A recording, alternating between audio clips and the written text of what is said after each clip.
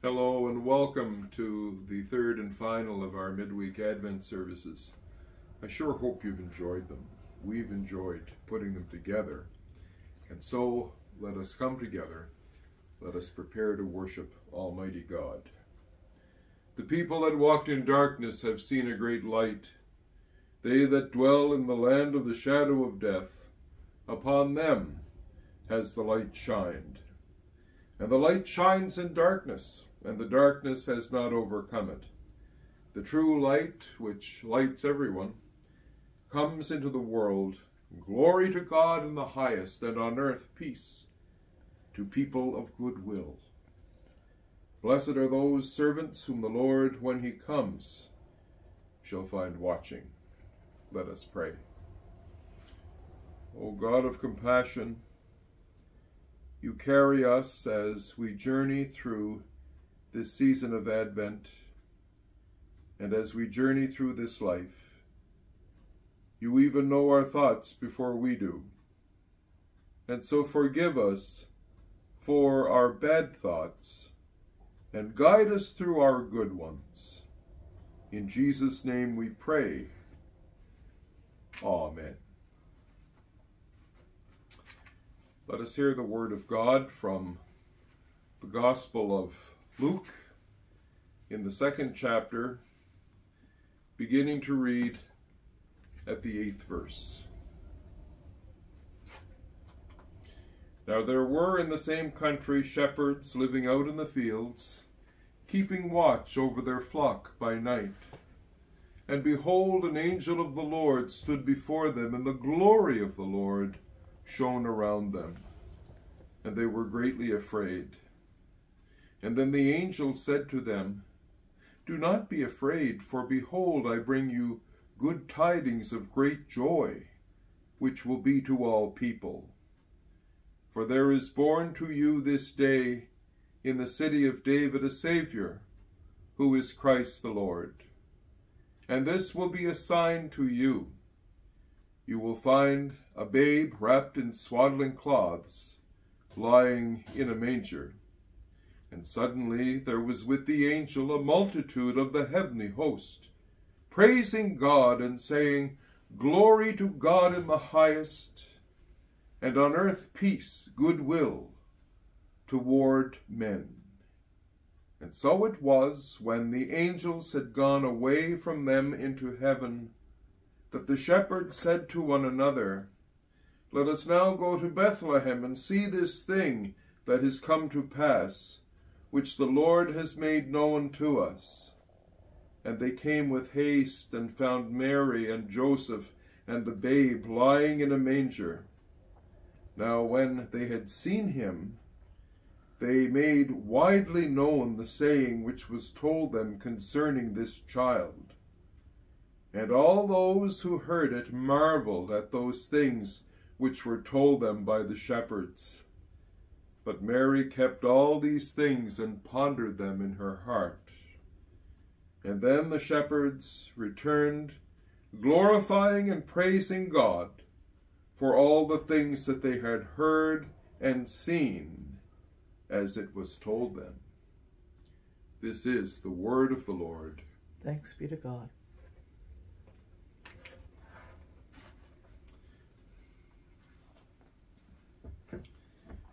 We consider now the Angel's Carol.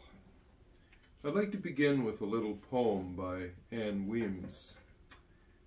It's um, entitled An Angel-Filled Advent. Wouldn't it be wonderful if Advent came filled with angels and alleluias?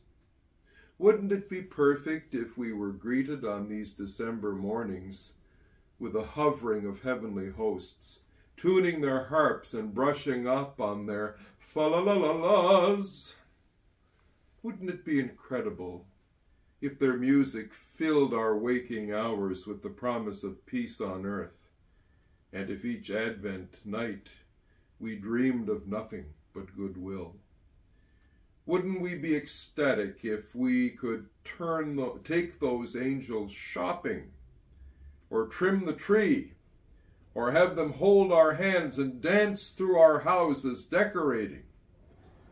And oh, how glorious it would be to sit in church next to an angel and sing our Hark the Heralds. What an advent that would be. What Christmas spirit we could have. An angel-filled advent has so many possibilities.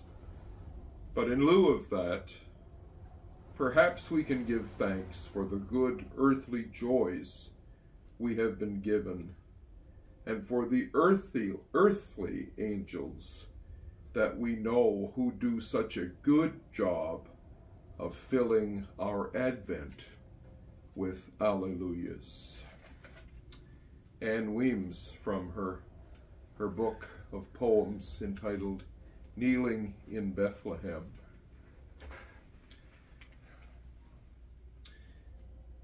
The carol Gloria in excelsis Deo. Glory to God in the highest, and upon earth peace among those whom he favors, or people of good will. What a fascinating touch that the multitude of the heavenly host proclaims, peace on earth.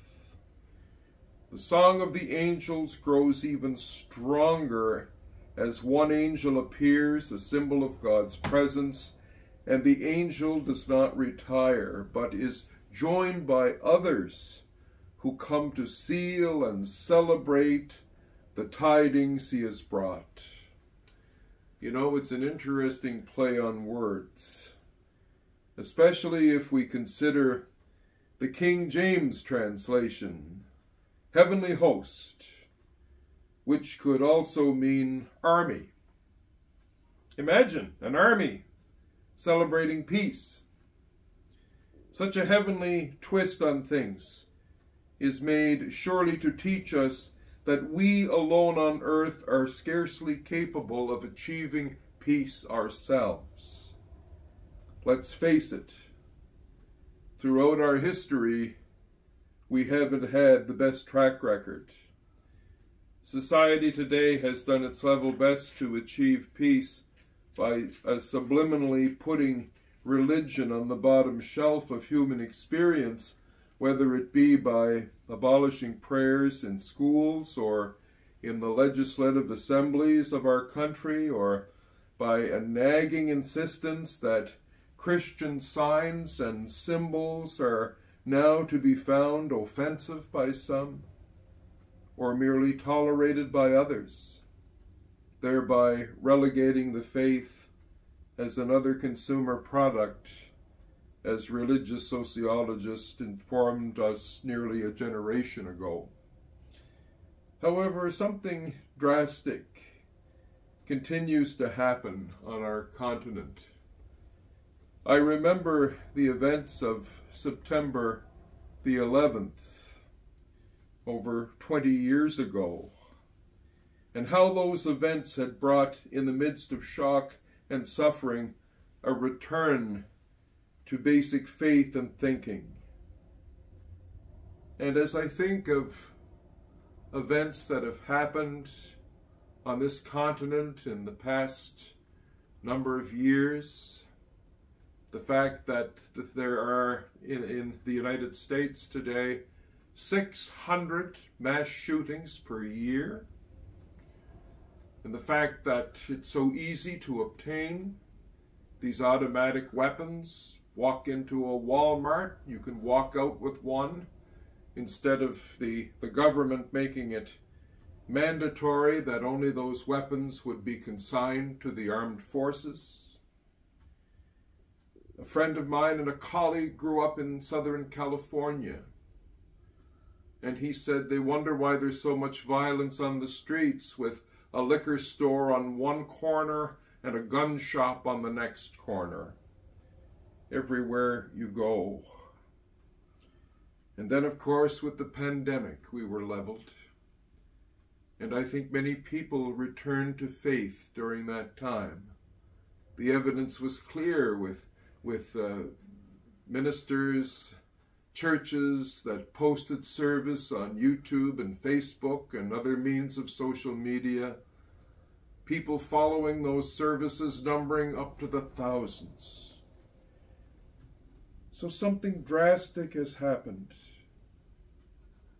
To many people, the Christmas story will no longer be a mere fairy tale, a wonderful story that provides maybe a brief escape from the real world we face, a meaningful experience of the good news of the season, however, must inevitably involve entering imaginatively into the story, feeling the wonder of God's grace, and considering the choices that the story puts before us. And if there's any time we need the gifts of this season of hope and peace and joy and love, it is in these days. It is in these days. I give thanks to God for the new awakening the angel's carol has given me. Peace with God is the grand necessity of a fallen world. To bring in this and all the other peace in its train was the prime errand of the Savior to this earth, and along with it, heaven's whole goodwill to all. The divine complacency on a new footing descends to rest upon all people as upon the Son himself, in whom God is well pleased. Glory be to God. Amen. Unto him that loves us and is able to keep us from falling, be ascribed in the church by Christ Jesus all glory and honor, dominion, power, and blessing, world without end. Amen.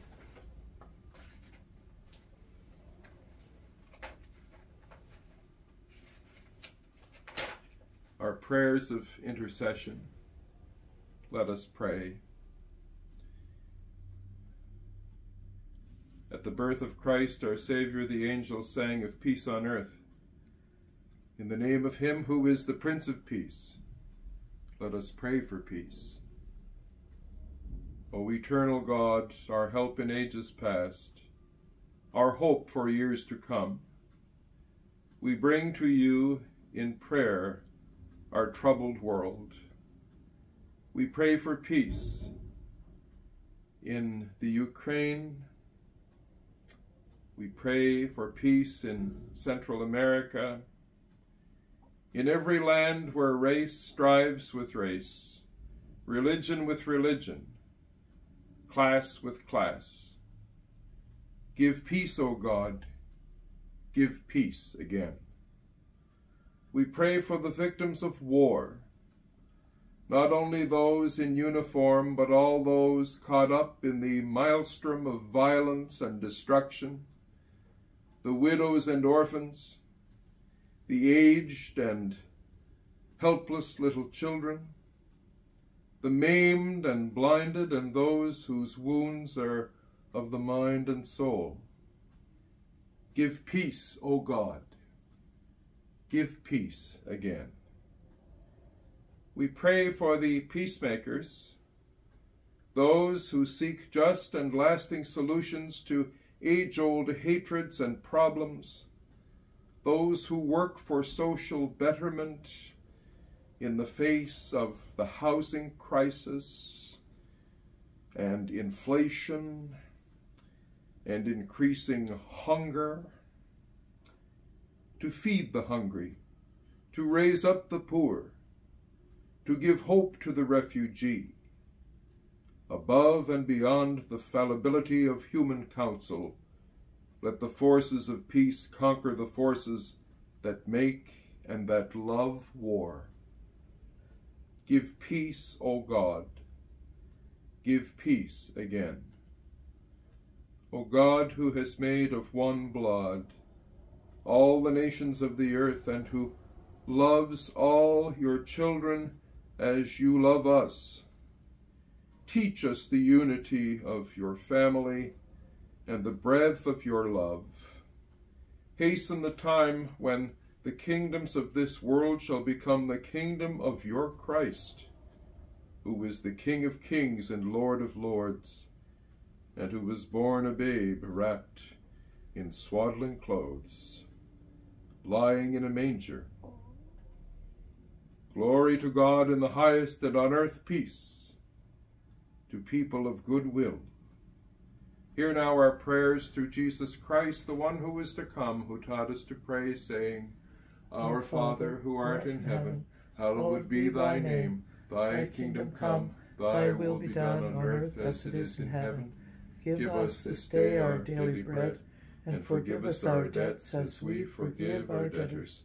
And lead us not into temptation, but deliver us from evil.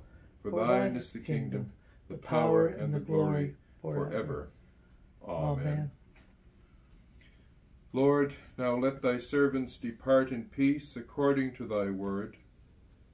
For our eyes have seen the salvation which thou hast prepared before the face of all people. Lighten our darkness, we beseech thee, O Lord, and by thy great mercy defend us from all perils and dangers of this night, for the love of thine own Son, our Saviour, Jesus Christ. The Almighty Lord grant us a quiet night and a perfect rest. We will lay us down in peace and take our rest. For it is thou, Lord, only that makest us dwell in safety.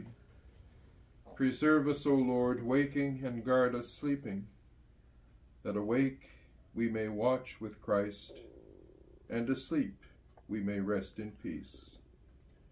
The Almighty Father, Son, and Holy Spirit be with us all. Amen. And after greeting one another, let us depart in great joy.